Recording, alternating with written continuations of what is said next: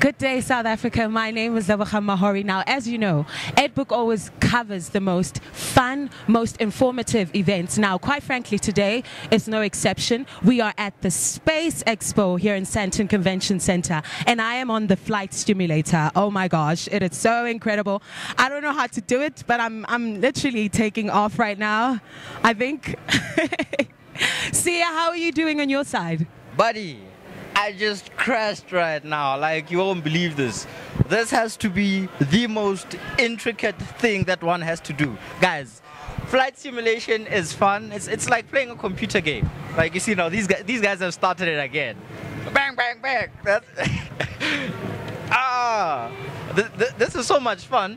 But in terms of having having having to control, like you you need some serious uh, piloting skills. Oh, someone just someone just abandoned their aircraft right now, and parachutes, parachutes everywhere. And here I am going chitty chitty bang bang on these guys. Ah, there you go, there you go. You know how we do. We need to show them that South African military is on point. Yeah, perhaps I need to enlist in the military. What do you What do you think, Libza? Maybe maybe I should. Maybe I should.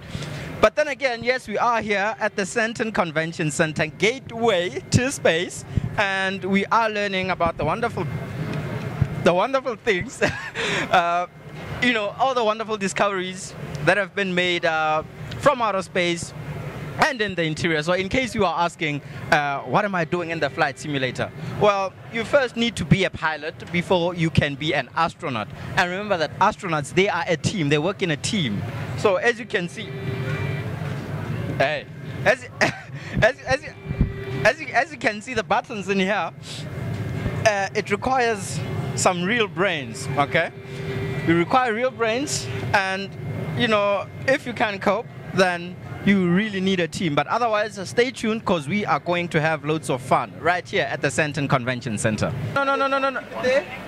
Oh my goodness! Oh, no, no, no, no, no. It's too sensitive. Ah. Okay, and that's that. And that's that. probably more of an Crashed.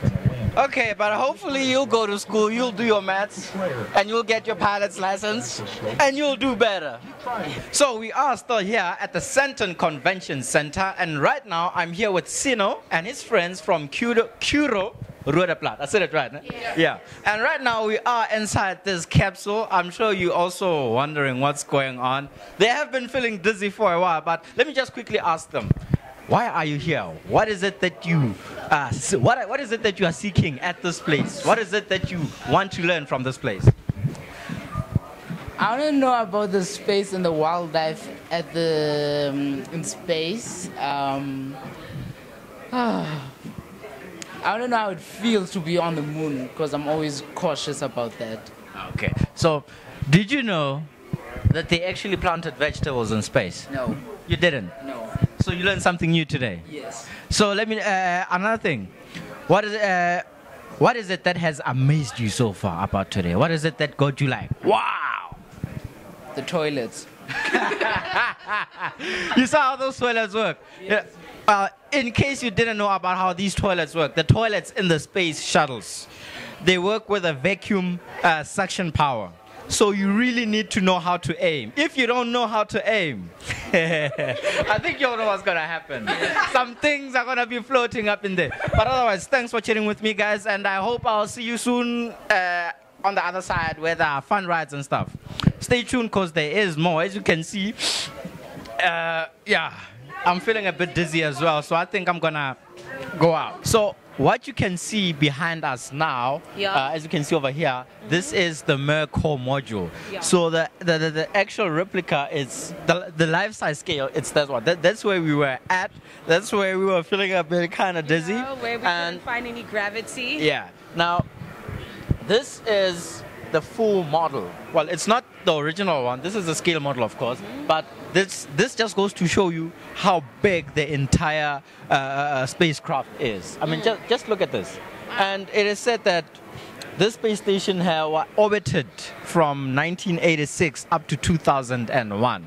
And the one we were inside, the, the core, the core itself, Yeah. it served as a living space for those who went up first in 1986. So you can imagine the various types of research that has gone through the ages. I mean, since 1986. Imagine. Wow. How so, long ago was that? 1986. Yeah. Here's a secret. I wasn't yet born in 1986. Oh. So, friends, what you see behind us is a model of the lunar rover. Yeah. Okay, it's a lunar rover model. This is actually one of the things tse leng gore ntse ke batla go di today. Yeah. Um, four of these actually went up to space, and apparently only one has returned. All right, voila. So you do know that specimens of the moon and Mars are among the rarest substance on Earth. Apollo astronauts brought back to Earth some pieces of the moon, while other pieces arrive uh, on Earth as a result of asteroids slamming into the lunar surface. Now, these impacts launch chunks of the moon into outer space. Some of these pieces have Earth intersecting orbits, and some are the rarest type, or they become the rarest types of the meteorite. Now, what you're staring at here right now is one of the rocks, one of the fragments that are from the moon, and I'm actually touching the moon. See right here, and we are still here at the Sandton Convention Center, and I'm joined by Miss Ladine Liebenberg. I said that, I pronounced it right. eh? Yes, Oh, my bad. I'm bad with names. so please tell me. I understand that the gateway to space. uh, This is the first time it's it's been here in South Africa. So what inspired the move to South Africa?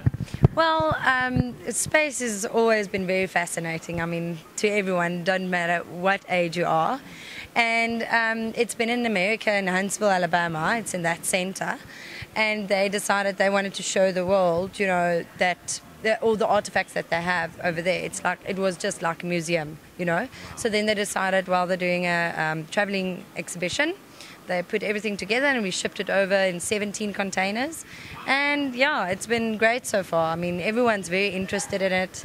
We've had quite a few uh, pensioners because, I mean, they were there and listen to the moon landing on the radio. Yeah. So, and then we also have little kids that wants to become astronauts. So, yeah, so it's very nice. Fantastic. And I've, I've, I've seen the kids here and they love it. Like they absolutely go wild over the flight simulators, the five degrees of freedom. Everyone seems to be having fun. So, in addition to all the artifacts that were shipped to South Africa, Yes. uh, what other, from the South African perspective, uh, what are the milestones that uh, are you, show, you are showcasing here? Well, um, so the different Department of Science and Technology, um, they came on board, and they brought the like the South African satellite to show what we have developed in in our country, and to showcase our intelligence, you know, and, and what how far research has gone, um, like on our shores.